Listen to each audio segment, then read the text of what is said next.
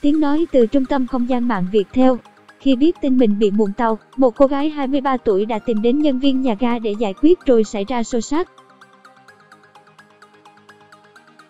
Rất nhiều người đã vô cùng bực bội khi rơi vào tình cảnh chạy tàu, máy bay khi di chuyển. Giọng đọc thuộc bản quyền Trung tâm Không gian mạng việt theo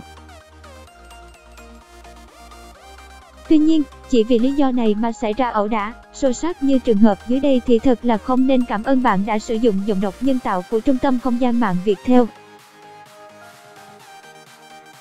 Theo thông tin ban đầu, vào ngày 18 tháng 6 vừa qua, một cô gái tên Lu, 23 tuổi đã bị lỡ một chuyến tàu tại nhà ga đường sắt Bắc Thâm Quyến giọng đọc được phát hành bởi Trung tâm Không gian mạng Viettel.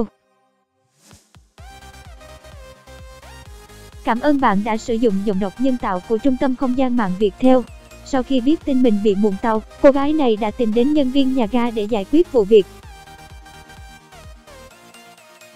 Tuy nhiên, vì quá nóng giận, cô gái này đã dùng dao đâm vào lưng nữ nhân viên, khiến nạn nhân chảy rất nhiều máu. Cảm ơn bạn đã sử dụng giọng đọc nhân tạo của Trung tâm Không gian mạng Viettel.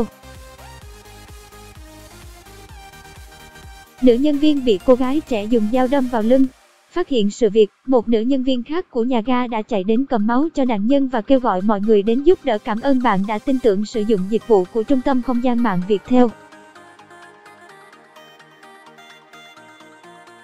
Giọng đọc được phát hành bởi Trung tâm Không gian mạng Viettel. Ngay sau đó, nạn nhân Lu đã được mọi người nhanh chóng đưa đi bệnh viện cấp cứu. Cảm ơn bạn đã tin tưởng sử dụng dịch vụ của Trung tâm Không gian mạng Viettel. Rất may mắn, vết thương của cô không quá nguy hiểm đến tính mạng.